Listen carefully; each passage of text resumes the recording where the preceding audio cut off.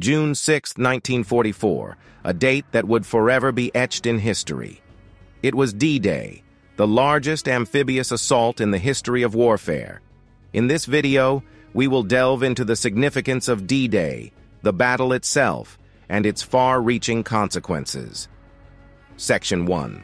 The Purpose of D-Day But first, what was D-Day and why was it necessary? D-Day, or Operation Overlord, was the Allied invasion of Normandy during World War II. Its purpose was clear to establish a foothold in Western Europe, liberate France from Nazi occupation, and open up a new front against the Axis powers. Strategically, it was essential to create a second front in Europe to relieve pressure on the Eastern Front and pave the way for an eventual Allied victory. Section 2. The battle itself. Now, let's turn our attention to the heart of the matter, the D-Day battle itself. The operation involved five landing zones along the Normandy coast, Utah, Omaha, Gold, Juno, and Sword. American, British, and Canadian forces were tasked with securing these beaches. Each landing zone had its challenges, but the most daunting of them all was Omaha Beach, where fierce German defenses awaited. The initial assault at Omaha Beach faced heavy resistance, with high casualties among American forces, but sheer determination and heroic efforts eventually led to the beachhead's establishment.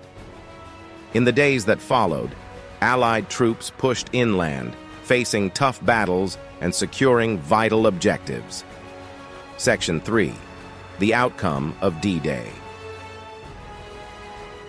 The outcome of D-Day was nothing short of monumental.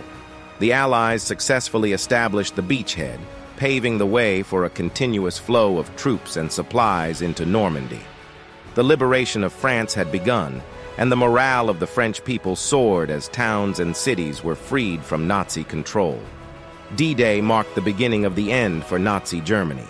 The Allies had gained a crucial foothold in Europe, setting the stage for the eventual defeat of the Axis powers.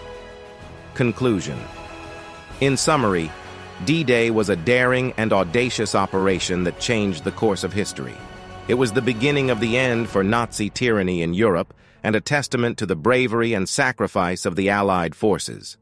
As we remember the heroes of D-Day, we also reflect on the enduring legacy of this historic day.